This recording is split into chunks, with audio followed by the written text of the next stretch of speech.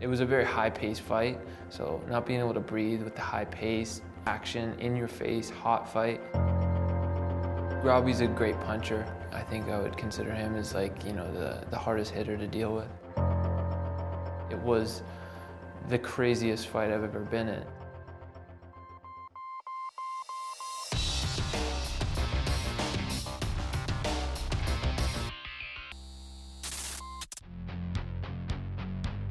First UFC fight, uh, basically the only thing that changed compared to competing outside the UFC was just how organized the company was. I remember outside the UFC it was like not so organized.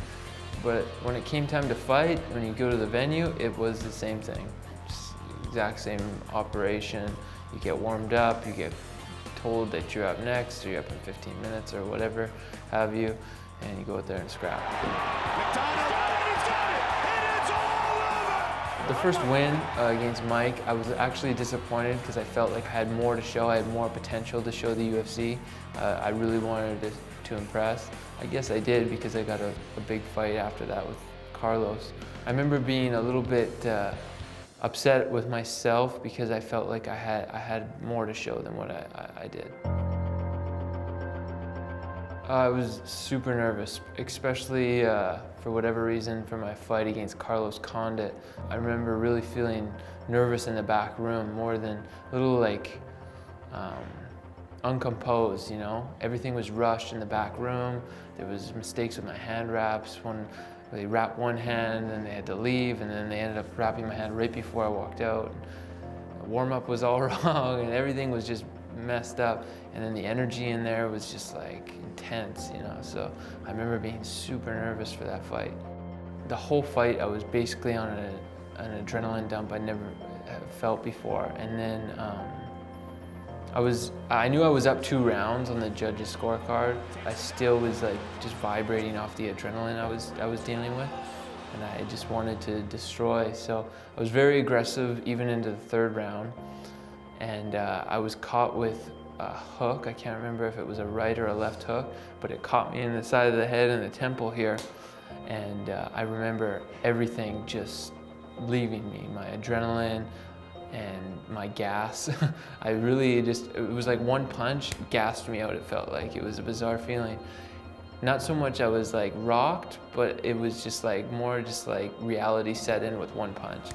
And uh, I was shooting at legs desperately, trying to get uh, control of him, but he just kept shaking me off, throwing me off, and uh, applying a lot of pressure with strikes and, until, uh, until the ref stopped, stepped in.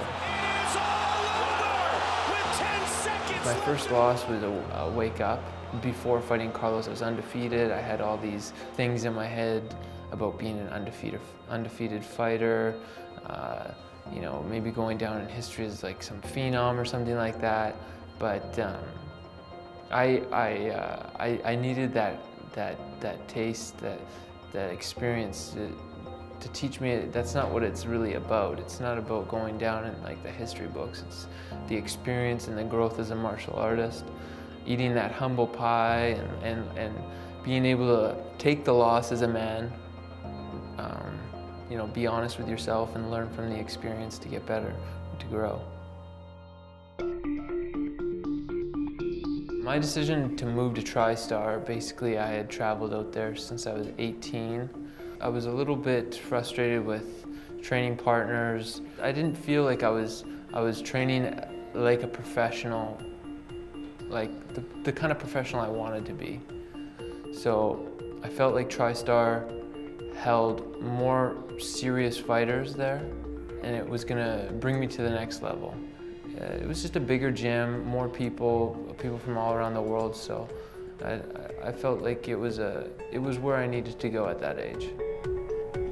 Yeah, it was a big card coming off a loss against Carlos, spending like almost a year basically uh, at TriStar, you know, kind of developing maybe a, a, a, newer style under a different coaching regimen. it was a, a big opportunity. Uh, I got put on a main card on one of the biggest cards in UFC at the time. Well, it was the biggest card in UFC at the time. The atmosphere in the locker room was, you know, there was a lot of TriStar guys. Georges was fighting, uh, Makdessi, uh, me. There was uh, a couple other guys too. I think Yves Jabouin was on the card. So there was a, a bunch of us um, uh, on there preparing in the locker room, and uh, you know, it was good. It was like a teammate vibe and I, I like that. Diaz, uh, when I was fighting him, he had a couple things to say, like uh, he called me bitch, this, that, but I would just punch him in the face and, and it was the end of it. I mean, I was there to fight, and I think he knew it. He was just trying to get in my head. He's looking for that leg, pushing the pace. The suplexes, uh, basically, I just, I, I, had gotten his back at one point, and uh, I felt like his weight was not defending the suplex well. So I mean, I picked him up and uh, I, I actually picked him up straight and slammed him down on his back instead of uh, doing an actual full suplex where I did at the end. But uh, he kept turning his back, trying to get back to his feet. So I would do it again. Turned his back, grabbed him from behind, and actually suplexed him the third time. But um, yeah, it's just positional awareness, I guess. I remember the crowd being going crazy over it. Uh, I knew it wasn't really necessarily doing damage, damage, but it was fun. It was, you know, it felt like I was like ragdolling someone, so that, that was a cool feeling. I respect BJ and every other fighter I've ever went up against. I don't turn off respect. It's not, not about that. It's just turning on aggression and, and doing what I have to do to that person um, just being like, be, I don't know, I, there, there's always respect. Whether I knock the guy's face in, the first five seconds, or if it's a war, or if he beats me, there's always gonna be respect. I'm, I'm locked into a stare down with somebody. I'm usually thinking pretty aggressive things. Um, sometimes I'm more composed and thinking like of like where he's open, you know, sometimes I just like I just want to rip your head off. I don't know. It's always different.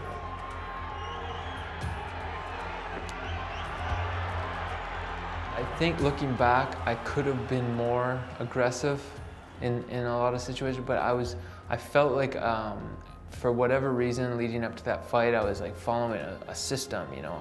I really was like, I was like uh, kind of robotic a little bit, like looking for you know, the square to fit in the, the, the, square shape. Whereas now, you know, I think I'm a little more uh, relaxed and I, I'm more open to more techniques. Uh, it's just experience.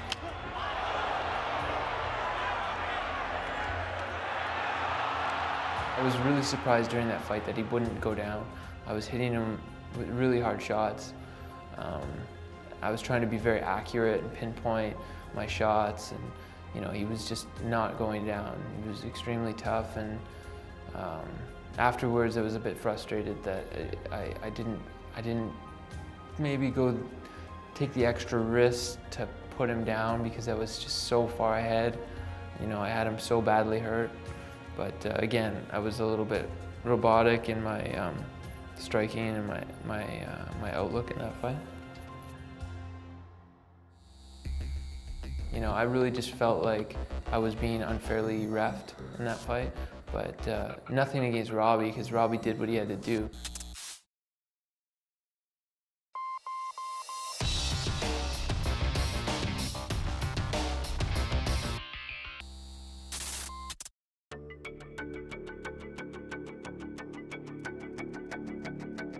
Fight against Lawler, yeah, um,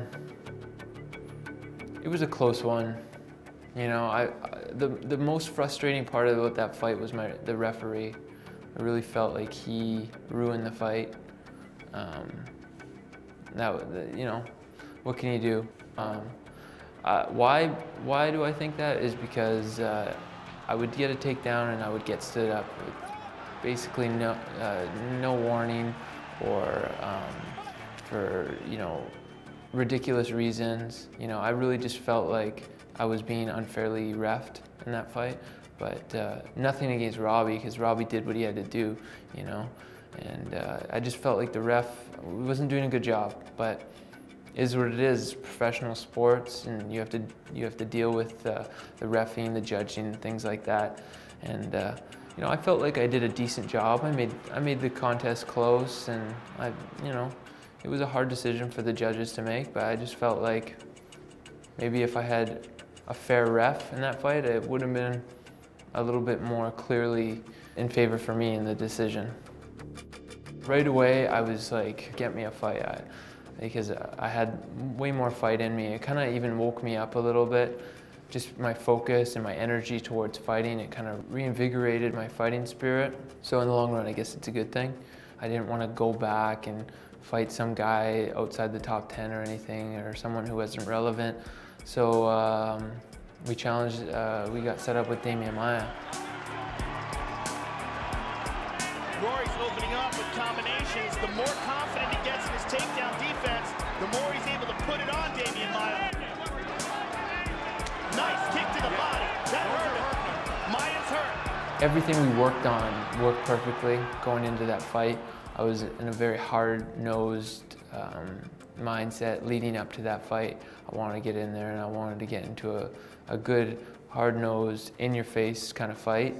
And uh, all the techniques that we had kind of worked on to shut down Demian, it worked, it worked perfect. The lead up to that event was a lot of media.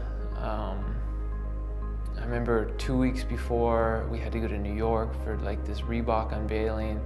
The week of the fight, I was in Toronto doing press with everybody.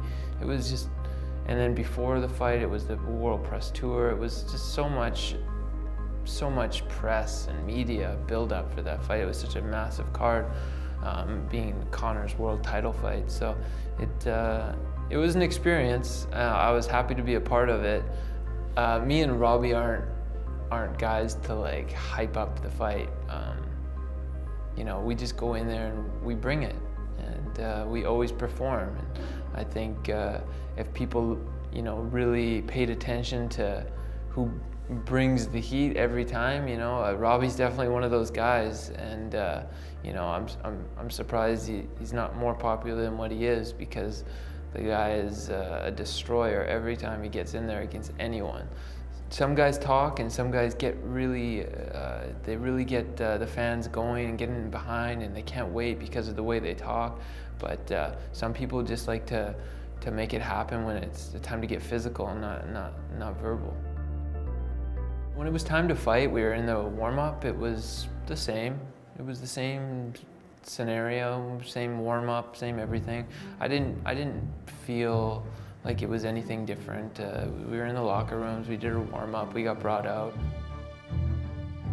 It's just when we got there, you know, they do the whole lights thing. It's Bruce Buffer's going crazy with the with the world title announcement. You know, it's it's different energy, especially when it was Conor's big card and there was all the Irish fans going crazy. It was it was it was an electric vibe.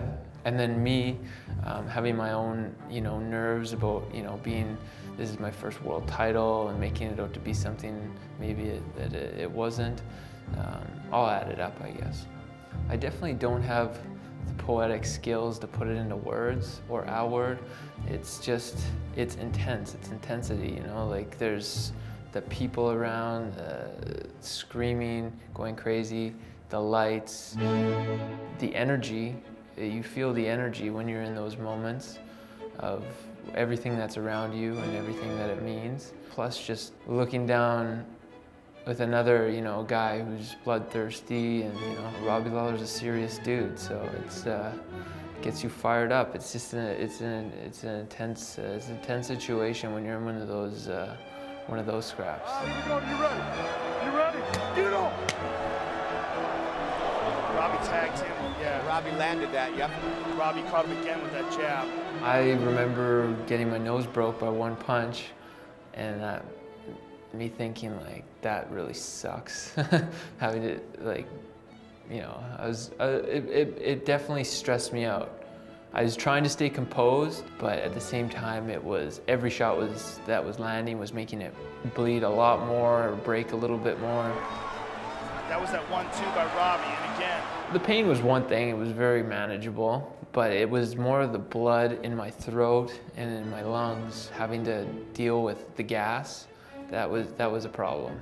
Um, that wasn't fun, not being able to breathe too well. Don't block his nose, okay? Don't block the nasal passage. Give me the mouthpiece. Okay, give it to me. Breathe, Rory. How you feeling, Rory? It was a very high-paced fight, so not being able to breathe with the high pace, action, in your face, hot fight, you know, you really, it was one of those fights where you really felt the heat of the battle. There wasn't much time to think, it was just all reaction and letting your training come out. It was a crazy experience, um, but that's why I feel I gained so much composure from that fight because it was the craziest fight I've ever been in. So it, it forced me to have to use composure so I could make it till as far as I did. Yeah, he was laughing at me when I was hitting him. I was like, this guy's crazy. it, it, it, frustrated me, it really did.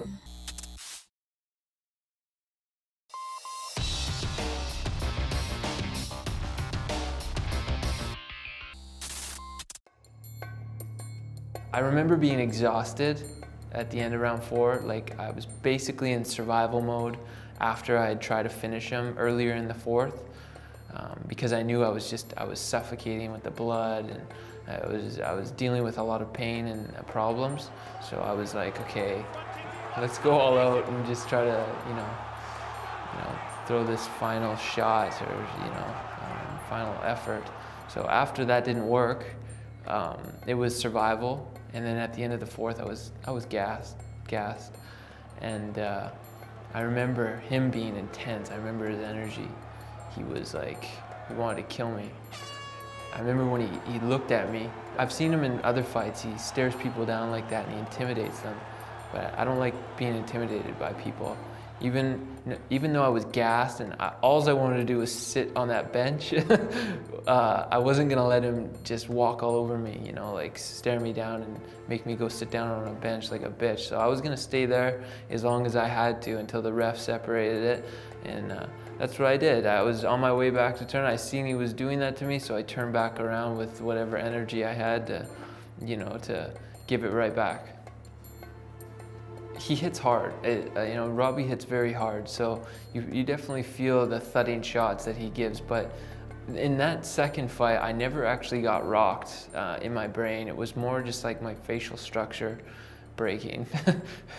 so uh, I never really felt like I was getting buzzed with any shots. I never felt like he hit me with anything that was messing up my equilibrium or rocking me. It was more just like he was hitting me and was breaking my bones. Yeah, he was laughing at me when I was hitting him. I was like, this guy's crazy. it, it, it, frustrated me, it really did. But uh, I think that was a good lesson to learn because uh, that, that, that taught me how to be composed. You know, if you're fighting a crazy person, you know, they might, they might enjoy it when you hit them, you know, and you have to just deal with that, you know. The fifth, it's hard to describe, but uh, he was very accurate, he was very precise, he was bouncing, he, he almost seemed fresh. And I remember just like trying to give the impression that I was fresher than I was because I was like on my last legs. I'm sure he could, could have sensed it, but uh, I was trying to stay like I was in the fight. I was, you know, I had energy, but I didn't. And he was being very accurate with his left hand, popping me on the nose just at the end of his left hand, even though they weren't major shots on camera because of all the damage I had taken. It was like they were they were big shots because of all the facial damage in my nose and things like that, all the swelling. So they they were they were affecting me more than the harder shots earlier in the fight, just because of all the damage, all the fatigue, the adrenaline was gone. So um, you know that that was um, breaking me mentally. Um, it was like it was hard to like stay focused. It's hard to stay hungry when someone's breaking you down precisely pop, pop, pop after, you know, you don't have adrenaline, you don't have gas, things like that. So that's, that's what just at the end just made me, you know, take a knee. I needed time to recover. How do I sum up that fight? Uh, uh, fun. It was a fun fight. Robbie's a great puncher. I think his uh, his punching power with his uh, his speed and uh, his volume, I think I think I would consider him as like you know the the hardest hitter to deal with. Uh, at the hospital there with Robbie, he just uh, said, good luck, uh, are you okay? And I was like, oh yeah, it's cool. I said congratulations and uh, thank you for the fight and things like that. And that was it. It was, uh, what are you gonna really say? you know, it is what it is. So, you know, just mutual respect mostly. Um, my coaches, uh, you know, they were concerned. Um, I think they were, I think I think they were upset, you know, understandably. Um, but we gave it our best shot and uh, we learned from it. We're going to come back stronger next time. What I get out of fighting the most, I think, is um, happiness. I think it makes me generally just a happy person to do martial arts and the lifestyle it brings. You know, not having to do a nine to five job, not having to do do all that because, you know, the only thing I really know is fighting.